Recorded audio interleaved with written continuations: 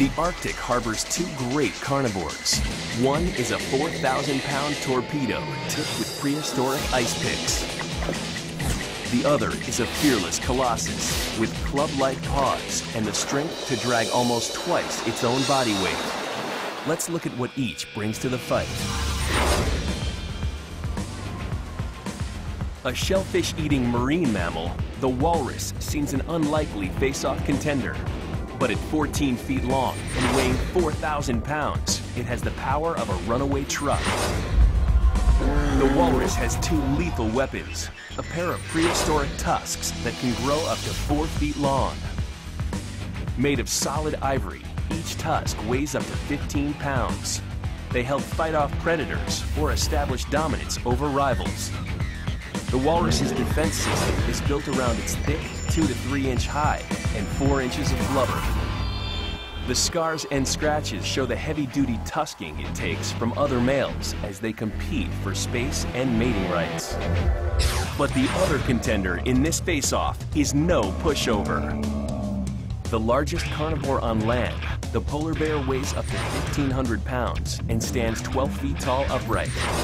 That's as tall as an elephant. It has a fearsome armory, including dagger-like three-inch canines and razor-sharp carnassial teeth. These can rip with ease through the skin, flesh, and blubber of its most common prey, the ringed seal.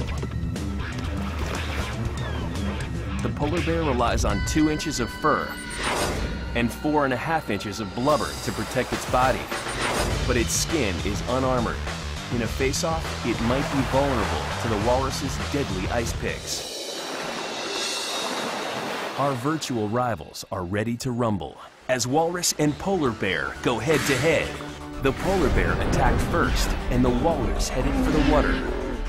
Wielding immense strength, the polar bear held the walrus long enough with those huge paws to latch on with its teeth, but it couldn't inflict serious damage.